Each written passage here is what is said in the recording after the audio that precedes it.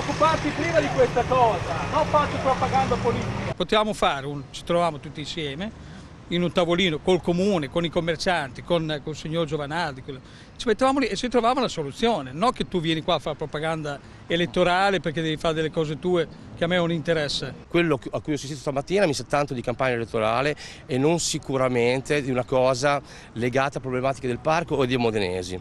Eh, mette solo in evidenza l'incapacità del senatore Giovanardi, per quanto mi riguarda, eh, per quanto non è mai riuscito a fare per la città e non per quanto è riuscito a fare.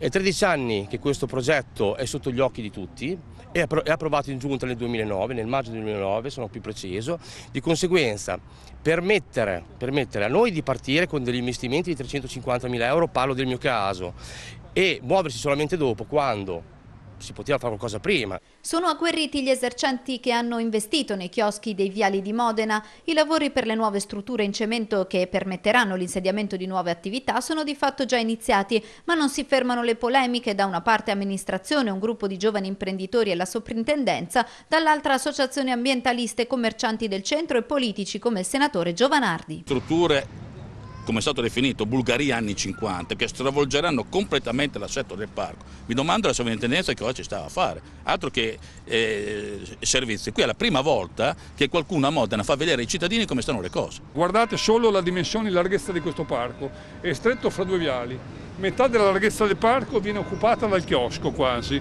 Ora le dimensioni di questo chiosco in altezza in dimensioni delle colonne, peraltro inutili dal punto di vista sismico, non sono compatibili col parco, eh, non sono compatibili con la destinazione alla quale il parco è devoluto, che è il, il passeggio, la contemplazione, il riposo e il, il ristoro della persona che si accinge a visitare il parco.